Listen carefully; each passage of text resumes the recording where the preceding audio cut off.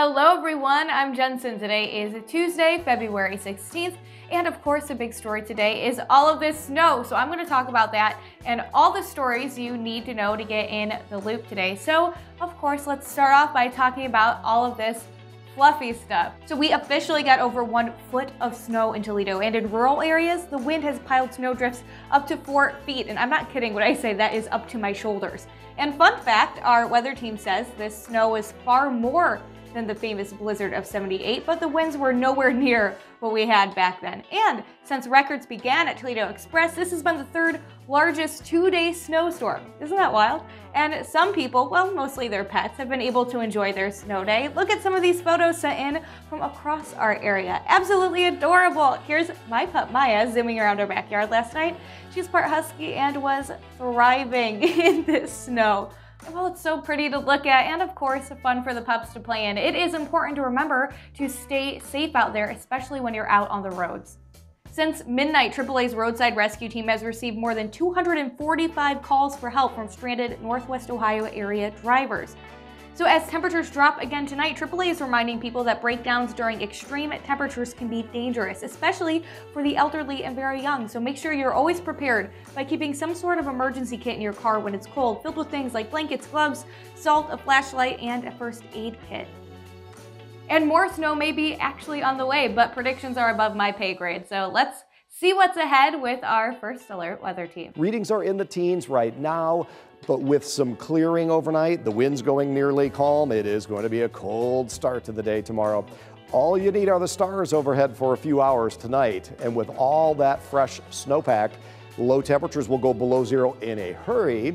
And if they do, areas of fog will be possible getting the day started tomorrow uh, because the wind will be nearly calm for a number of hours. During the day tomorrow, a little light, light breeze will pick up. Temperatures should climb up pretty decently. I think highs will get to near 20, and then we'll run the clock into Thursday. Here comes the next chance of snow that I mentioned.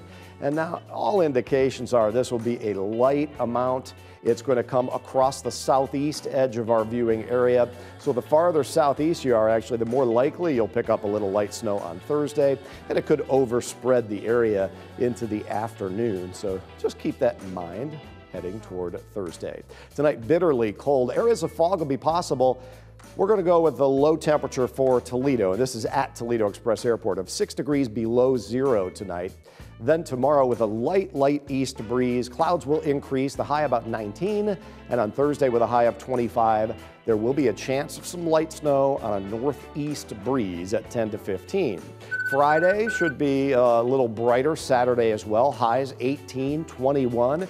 And on Sunday, with a 40% chance of uh, snow or snow showers, the high should inch up to 32 Next week, I think highs will be above freezing several days in a row, and it will include even a chance of rain a week from Thursday and the possibility of at least one high temperature there, making it into the 40s. But that uh, right now, considering how cold it's going to be tonight, is a long way off. I think that's the best way to put it. So that snow we got last night, it caused a lot of local vaccine appointments to be postponed. So if you were impacted, what happens next?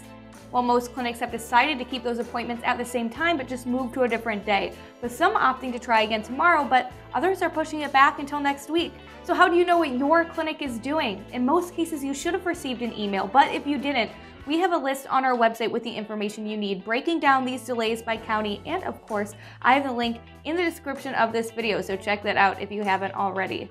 And Ohio Governor Mike DeWine says that this winter weather is impacting shipments of the vaccine as well, with some providers facing up to one to two days of delays. So the health department has already reached out to every provider in the state to let them know about these potential slowdowns so they can hopefully come up with some sort of backup plan. But on the plus side, some good news when it comes to the vaccine. Scheduling and making an appointment might soon be a bit easier. DeWine said the state is developing a centralized COVID-19 vaccine scheduling website, creating a one stop way to find an appointment in the state. So the first phase for launching the new dashboard is actually complete, meaning the site is functional. So the next phase of the site's launch will be outreach to vaccine providers to get them all signed up and ready to participate in this new scheduling system. Then finally, once enough providers have signed up, the state's third phase will be to make the site go live. Once it's up and running, all you have to do, if you qualify, of course, is put in your zip code and you can pull up appointments within 20 miles.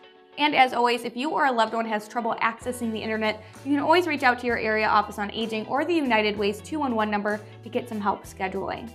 Now let's talk about schools. Even more schools in the state are starting to head back to the classroom. For some perspective, at the start of January, 47% of the state's students were in a school that was fully remote.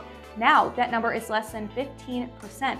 And DeWine is crediting that shift with his effort to get teachers and school staff vaccinated. As a reminder, in order for a school to get shots for their workers, they had to sign on to an agreement promising to return to some form of in-person learning, whether full-time or hybrid, by March 1st. All public schools in the state besides one signed on to that promise. But here's where things get interesting. DeWine announced Friday that three districts in the state have already announced plans to go back on that deal after already getting the vaccine. He addressed those districts directly, saying breaking that commitment would be, quote, unacceptable. Uh, it's not about a commitment to me. It's not about a commitment to the state or the health department. It is really a commitment to the students. Today, DeWine again urged any school district wavering on that March 1st deadline to do everything in their power to get kids back into the classroom, citing concerns that many students struggle in a remote environment and new guidance from the CDC stating that transmission between students in school is actually rare and that as long as mitigation efforts are enforced, in-person learning is not a big driver in terms of spread. DeWine said he specifically spoke with the CEO of Cleveland Public Schools after he learned about their potential to not meet the deadline as vaccinations were still happening in that district. And he asked if they should pause vaccinating staff until a plan was certain. Ultimately, he was promised the district would do everything in its power to return by March 1st.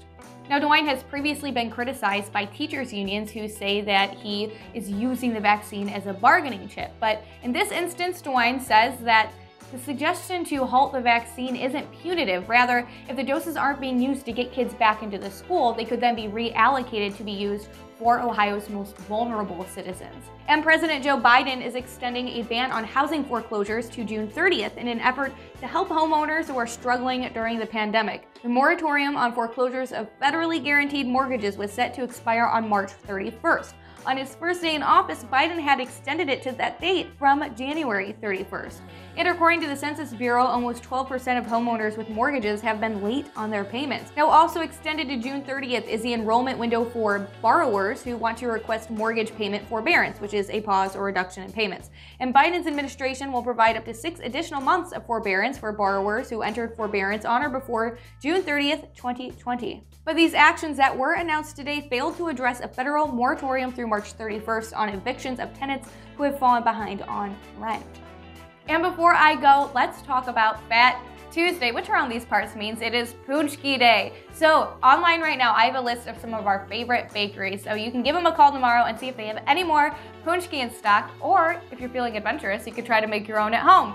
But from personal experience, it might just be easier to let the professionals do it. Either way, I have links in the description of this video with a recipe and that list of bakeries, so whatever you choose to do with that, that is your prerogative. But that is all I have for you today. If you like this video, hit that like button and of course subscribe to our YouTube channel. I'm Jensen and now you're in the loop.